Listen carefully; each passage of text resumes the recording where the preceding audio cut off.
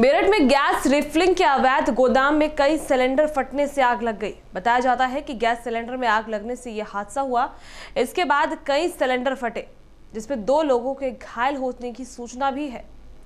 जिला अस्पताल के सामने बंसल कन्फेक्शनरी के ऊपर मंजिल पर गैस सिलेंडर में रिफिलिंग का अवैध कारोबार होता है। रिहायशी इलाके में यह अवैध गोदाम मौजूद है, जिसकी पहले कई बार शिकायत भी की जा चुकी है, लेकिन कोई कार्रवाई नहीं की गई। आसपास के लोगों ने घर से भागकर जान बचाई।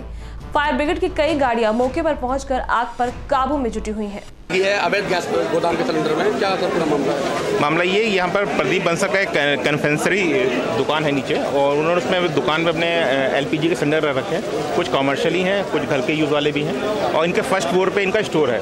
उसमें सिलेंडर भरे हुए हैं। तो बस वही गलियाँ सक्रिय होने के कारण थोड़ा समस्या आ रही है लेकिन अब वर्तमान में अभी आज हमने आग पूरी तरह से कंट्रोल कर ली है। सर कितने लगभग सिलेंडर रहे हैं और कितने फटे हैं अभी तक? सिलेंडर कोई पचास के आसपास दिख रहे हैं लेकिन अभी पूरा हंड्रेड परसेंट काउंट नहीं किया कितना है लेकिन पचास। ये जानकारी नहीं है। सर कितने क्या कुछ लोग इसमें घायल हुए नहीं एक आदमी जिसका दुकान है उसकी घायल चोट लगने सूचना है।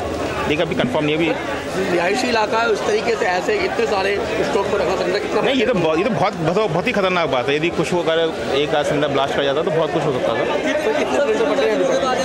तीन तीन तीन गाड़ी आ गई हैं तीन गाड़ी कितने फटे अभी तक? फ़िलहाल एक की सूचना मिल रही है। देखा नहीं अभी पूरी तरह पहुँच नहीं पाए।